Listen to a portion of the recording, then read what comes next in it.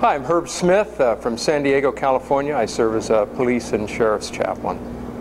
You know, I was out training on the range one day with a friend of mine who had been to Front Sight, and I'd been an officer. I was in SWAT, and uh, I thought I had pretty good gun handling skills. And my goodness, he was on my left, and he was going through all these gyrations and focusing in, and he had a pattern, and I was feeling like, man, I'm just chopped liver after all these years in law enforcement. Where do you get this? And he goes, man, you got to go to Front Sight. I go, Front Sight? What's that? And he told me about it, and I go, yeah, I need to go to Front Sight.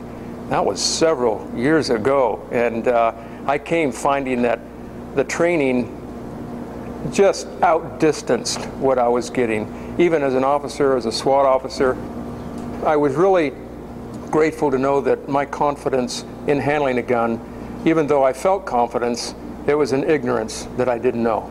And uh, what I received from Front Sight was so much more that I could, because I carry concealed, uh, do that in a way that not only uh, do I feel that I could defend myself or others if I had to, uh, but I know how much better to avoid a fight. I started out with the basic four